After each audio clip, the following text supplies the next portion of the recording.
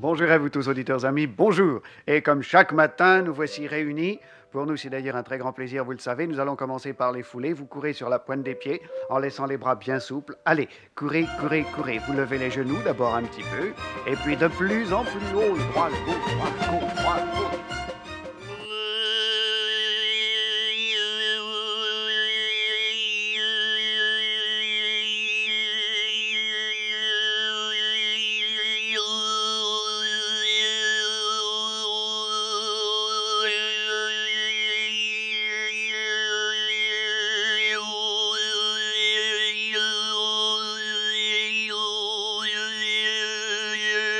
Il faut mettre nos mots dans notre bouche.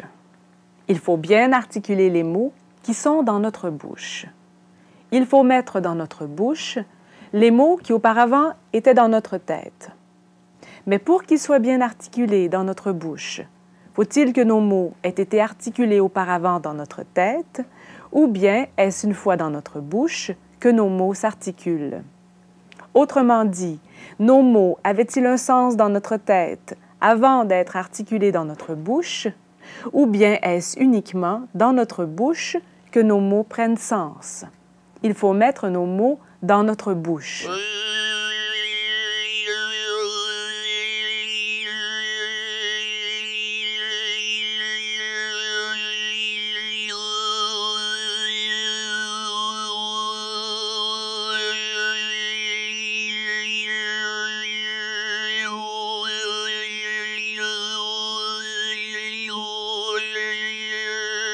Et maintenant, je crois que nous allons pouvoir vous quitter, auditeurs amis, en vous souhaitant une excellente journée à tous et en vous donnant rendez-vous demain matin avec la séance numéro 8 de votre manuel illustré Le réveil musculaire.